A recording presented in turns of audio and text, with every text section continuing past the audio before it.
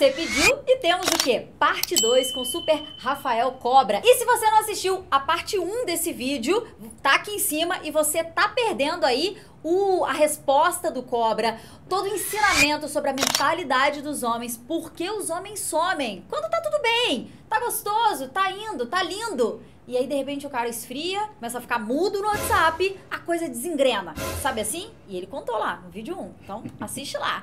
Cobra, vamos pra parte 2? Você tá preparado? Preparadíssimo, vambora. Tem uma pergunta aqui que é muito sensacional. Mas antes, deixa o like no vídeo. Pede um like aí, por favor. É, agora, agora, agora. Senão a gente nem continua.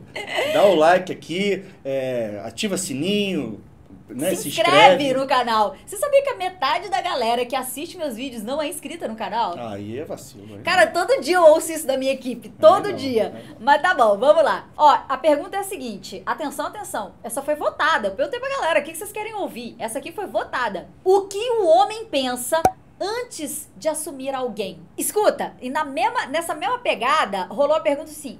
Qual é a cereja do bolo pra pedir namoro?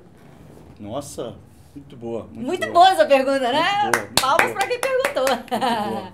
boa e complexa, muito boa. Eu acho que o que o homem pensa para assumir um namoro, né, para entrar numa relação, eu acho que é justamente o contrário. Ele para de pensar. E a, a mulher, ela, ela tem uma atitude, ela tem uma, uma, uma, uma postura, ela toma um tamanho na vida dele porque tem aquele joguinho, né? Aquela brincadeira de perdemos um guerreiro na, na, na, na, roda de homem, né? O cara começa a namorar, perdemos um guerreiro, né? Vai casar e tem o bonequinho do game over. Faz parte do, da, da, brincadeira do universo masculino, porque eu acho que a mulher ela foi treinada, educada, né? Para o casamento e o homem para trabalhar, enfim. Então eu acredito que nessa hora é a hora que ele para de pensar.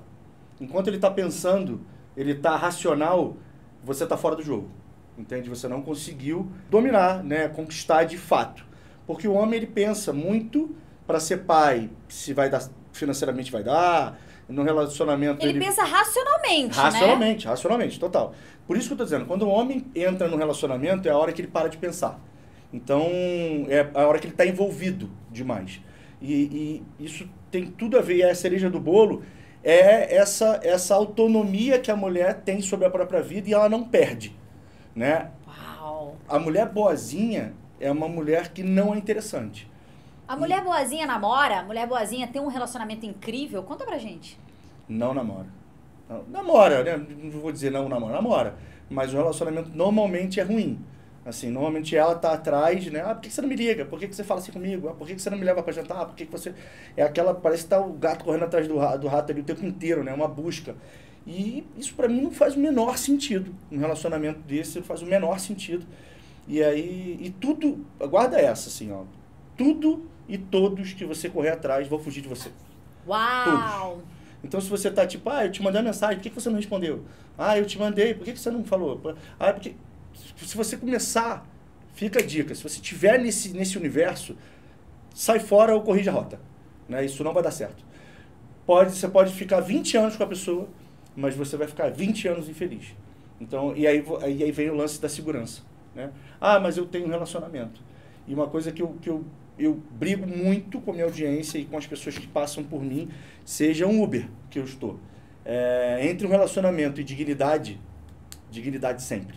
Toda vez que você escolher um relacionamento Uau. antes da dignidade, você já perdeu. Cara, você está avaliando isso na sua vida? Para agora. Olha para esse cara que você está conhecendo agora, ou o último que você conheceu. Dignidade estava ali, existia ali. Isso era prioridade? Você estava realmente alimentando a sua dignidade ou você estava priorizando o relacionamento? Extremamente importante você estar tá ouvindo isso. E se de repente você identificou, putz, eu sou a mulher boazinha, eu sou a que abandona a vida, eu sou a que nem sabe por que é interessante, tá tudo certo, tudo é perfeito do jeito que é. E se você tá aqui agora, se esse vídeo chegou em você, não é à toa. Tem algo aqui para você. Tem algo aqui, tem algo no meu Instagram, se você não me segue, lá tem conteúdos diários. Tem algo talvez no Instagram do Cobra que vai contribuir para formar essa nova versão que você vai colocar pro mundo e que os homens vão enxergar a partir de agora, né? Tá tudo dentro de você. Algumas coisas soterradas aí por medo, trauma, né? É, vitimismo, que é o mal da humanidade, mas tá aí dentro de você. A mulher incrível, a mulher interessante, a mulher maravilhosa que um homem sonha em ter ao lado. Tá aí dentro. Tá na hora de tirar, assim, ó. Sabe essa montanha de terra, de areia aqui chamada trauma, drama e tudo mais? Vamos tirar isso daí. A gente pode te ajudar, beleza? Então segue aqui com a gente porque eu tenho mais uma pergunta aqui pro Cobra. Vamos ver? Bora! Ah, muito boa essa pergunta.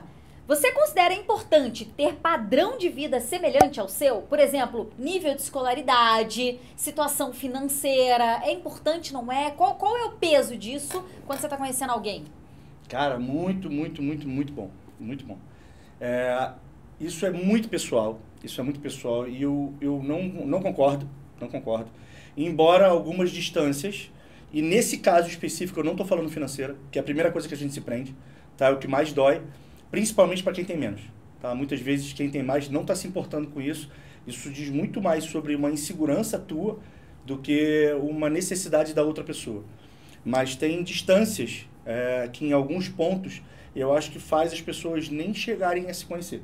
Né? Então, nível de escolaridade, né? difícil às vezes você frequentar o mesmo lugar e tal, mas eu não acredito nisso, porque... É... Você não acredita que seja um problema? Não acredito que seja um problema, embora é, essas questões elas podem fazer com que vocês não se conheçam. Né? Talvez não encontre essa pessoa um dia por conta de, de, de tamanha diferença. Mas, Mas uma, uma vez, vez, que conheceu. Perfeito. Uma vez que conheceu, eu não acredito nisso. Eu acho que a gente está em, em, eterna movimentação, evolução e crescimento. E eu acho que relacionamento é troca, é entrega, né? é ensinamento. É, se você sabe mais em uma questão, o outro sabe mais em uma outra questão. Então, eu acho, inclusive, que essa é a beleza do casamento e do relacionamento. É essa troca e não o julgamento. Né? Então, se você tem menos que alguém em alguma questão e essa pessoa é, é te abandonar, ela nunca esteve ali. E tenha isso como livramento. Não tenha isso como abandono, tenha isso como livramento. Essa pessoa não é capaz de te fazer feliz. Uma pessoa que não é capaz de ser fator de soma na vida de uma outra pessoa, seja ela qual for, mas aqui aplicada a um relacionamento, isso é um livramento na tua vida. Então, assim, se você sabe mais ou se você sabe menos, você está pronta para um relacionamento igualmente. De relacionamento, para mim, é entrega, Lu. Uau! E, e, é sobre caráter, né? Não é sobre como a gente está. Porque tudo a gente tá. A gente Óbvio. tá emprego, gente, nesse emprego. A gente está nessa condição financeira. A gente está morando nesse país, né? E, e é, o, é, é, o, é o momento agora. E que amanhã pode ser outra coisa, mas o caráter é aquele, uhum, né? Uhum, uhum. Então, quando a gente está avaliando pelo caráter, essas coisas importam bem menos. Muito Se a gente está avaliando pelo por onde a gente quer chegar, onde que a gente quer chegar? Talvez isso não não, não, não uhum. seja o ponto de definição, né? Até porque eu acho que valores e princípios, né? Valores e princípios, eu acho que é a primeira coisa que você tem que setar no relacionamento. A outra coisa é caminho, né? Se você sonha em ser mãe e o cara não quer ser pai, eu acho que existe uma inviabilidade nesse, nesse casamento. E qualquer, cada dia que você passa com essa pessoa é um dia a menos na tua vida e na vida da outra pessoa. É um dia mais afastado do seu sonho. Dos seus sonhos. Então, é um dia a menos que você tem de felicidade. Então, tem algumas coisas que sim tem que ser, serem setadas no começo, e aí, mas não há conhecimento, não há dinheiro, não há status, e sim a valor, princípio e ideia. É muito louco porque, olha só, a mulher encontra um. Tem um cara, tem um cara aqui. E a mulher tá pela vida dela e aí ela encontra esse cara. E ela olha para esse cara, em algum momento ela define que esse cara tá aqui e ela tá aqui. E que para ele ficar com ela, ela precisa estar aqui. E isso não é verdade. Sempre que a gente se encontra, são dois seres humanos que estão na mesma posição. Na mesma posição. Relacionamento é sobre ser igual. Não existe hierarquia em relacionamento. Não existe alguém que é melhor e alguém que é pior. São duas pessoas muito incríveis que se encontram. Só que essas pessoas ou sabem que são, ou elas não sabem que são. Quando elas sabem que são, elas somam e elas transbordam. Quando elas não sabem que são, elas se diminuem, elas competem, elas entram em, em jogos que não fazem o menor sentido. E aí viram relacionamentos ruins, Né? Então, é, por isso que a gente fala tanto desse autoconhecimento, desse olhar para dentro, porque quanto mais você se conhece, mais você entra no relacionamento falando, eu sou incrível. Quer ver meu lado incrível? Porque talvez você não conheça, mas eu posso te mostrar. E deixa eu ver o seu lado incrível também, né? Sobre isso. E aí a gente vai definir se a gente quer eu com esse meu lado incrível, se faz sentido, tá no mesmo momento, mesmo princípio, tal, tal com esse cara incrível. E talvez não seja compatível nesse momento, não seja compatível com você, mulher incrível, mas vai ser compatível com outra mulher incrível, porque é um cara incrível. A gente tá falando, óbvio, de pessoas normais, não de psicopata nem nada disso, óbvio, né? A gente tá falando de pessoas normais, estão buscando relacionamentos, e às vezes vai ser compatível, é, e muitas vezes não rola, não é que nem rola compatibilidade, a gente nem consegue se apresentar, se mostrar e, hum, e extrair do outro quem o outro é. Né? Exato. Assim, Lu, é, a gente precisa fazer uma avaliação do que, que é valor dentro de uma ambiência. Né? Se você tem duas malas de dinheiro e você vai numa tribo indígena, você está pobre. Né? Não vale nada ali, aquilo. Aquilo ali não vale nada. Você precisa entender o que é valor dentro do, da ambiência que você está frequentando.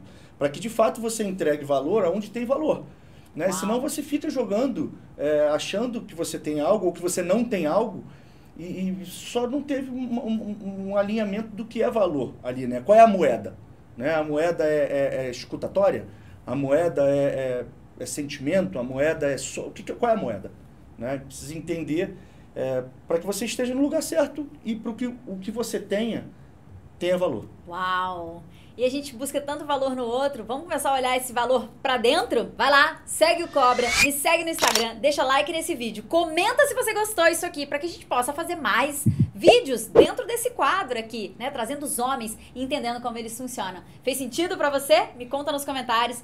E quero agradecer demais sua presença, Cobra, valeu demais. É sempre muito bom é, ouvir do próprio homem como ele pensa. Então, obrigada por isso. Eu que agradeço. Obrigado, galera. Bora!